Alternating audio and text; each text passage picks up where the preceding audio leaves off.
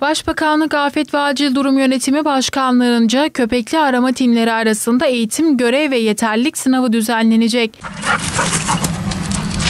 Samsun İl Afet ve Acil Durum Müdürlüğü Sivil Savunma Müdürü Yusuf Aysu yaptığı açıklamada AFAD'ın 2011 yılında çıkarılan köpekli arama timi çalışma ve sınavı yönetmeliği gereğince Türkiye'deki köpekli arama timlerinin iki yılda bir sınava tabi tutulduğunu söyledi. Eğitimlerine e, her katılımcı birim kendi eğitimlerini tamamlayarak bu sınava geliyorlar. E, sınav komisyonumuz eğitim vermekle ilgili bir yükümlülüğü yok. Sadece eğitim verilmiş e, enkazlarda özellikle enkazlarda arama yapacak köpeklerin e, sınavlarını yapma üzere görevlendirilmiş bir komisyondur.